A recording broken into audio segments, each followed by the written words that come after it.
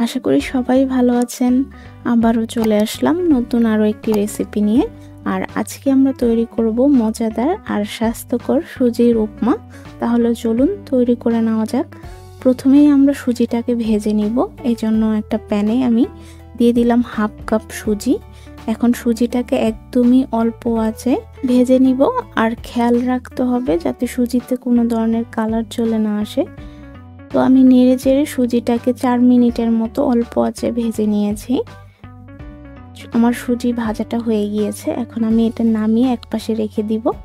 প্যানটা পরিষ্কার করে নিয়ে আমি আবার চুলায় বসিয়ে দিয়েছি। দিয়ে দিব তিন চা চামচের মতো তেল।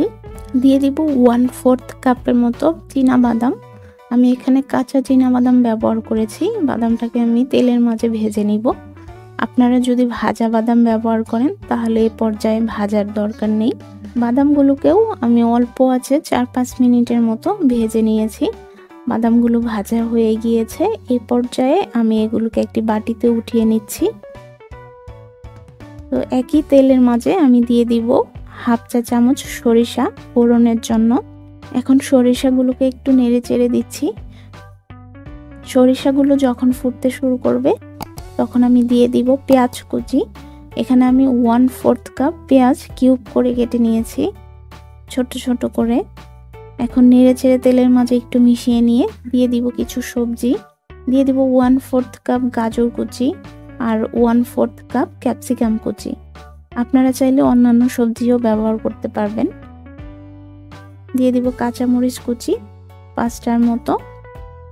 এখন নেড়ে চেড়ে এই সবজিগুলোকে আমি দুই তিন মিনিটের মতো ভেজে নিব। আর এই সবজিগুলো কাঁচা খেতেই ভালো লাগে, তাই খুব বেশি ভাজার দরকার নেই।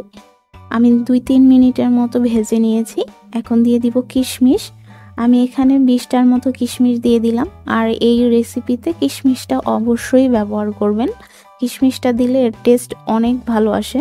কিশমিশ দেওয়ার পর আমি কয়েক সেকেন্ডের জন্য একটু ভেজে নিলাম। এখন দিয়ে দিব ভেজে নেওয়া বাদামগুলো। আর দিয়ে দিব ভেজে নেওয়া সুজিটা।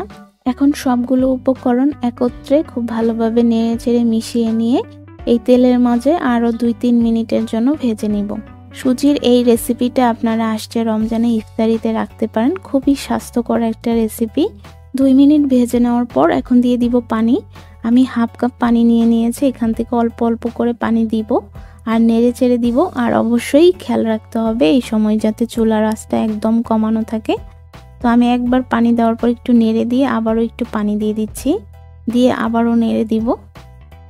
আর এই সময় অনবরত নাড়তে থাকতে হবে, না হয় সুজিটা এক জায়গাতে জমাট বেঁধে যাবে। দিয়ে দিব ওয়ান ফোর্থ চা চামচের মতো লবণ বা আপনারা আপনাদের পরিমাণ মতো লবণটা দিয়ে দিবেন। এখন নেড়ে চেড়ে লবণটাকে আমি মিশিয়ে নিচ্ছি। ব্যক্তিগতভাবে সুজির এই রেসিপিটা আমার খুবই পছন্দের একটা খাবার। আপনারা অবশ্যই বাসায় একবার ট্রাই করে দেখবেন। আমি দিয়ে দিব সামান্য আরও একটুখানি পানি।